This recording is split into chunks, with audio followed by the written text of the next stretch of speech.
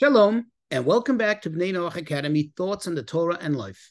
Please remember to hit the like button, to subscribe, and most importantly, to share this insight and inspiration with friends and family.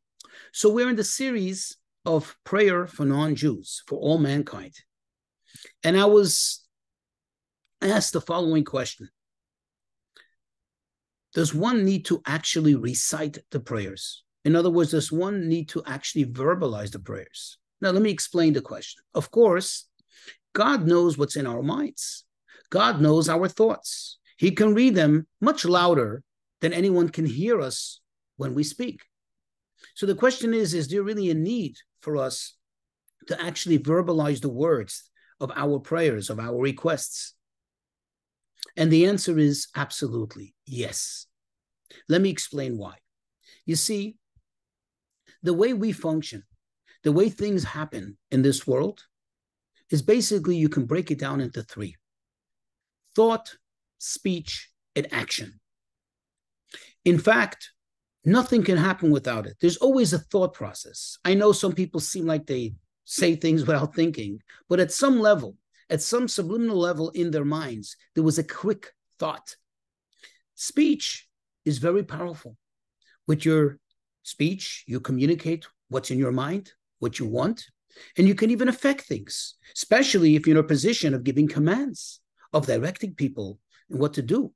But ultimately, in order for something to be implemented, in, in order for something to have an effect in this physical world that we live in, there has to be an action.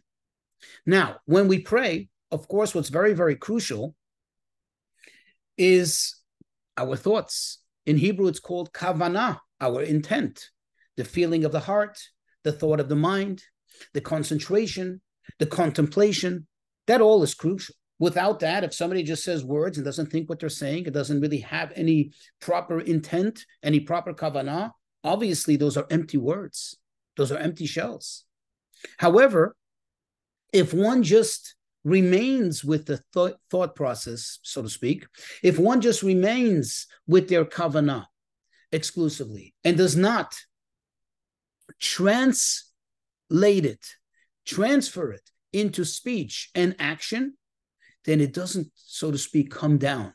It doesn't have an effect. It doesn't have an implementation in this physical world. Our request from God is that it should all materialize and manifest themselves into this world. We begin by out that process by actually speaking the words, saying the words. Even if we say it quietly, in a very low but audible manner. What we're doing is number one, we're communicating, but most importantly, we're moving our lips. Although it's a very minor action, but it is an action. It's already something physical that has a connection to the reality of the world that we live in. And like I said, nothing really matters unless it has a physical implication in this world. Thus, in short, when you pray, it is crucial, it is vital that one not just read and think and contemplate the meaning of the prayer, meaning reading it silently, but rather that one actually prays, actually says the words by moving their lips and somewhat, even on a very low tone, have an audible experience in saying those words.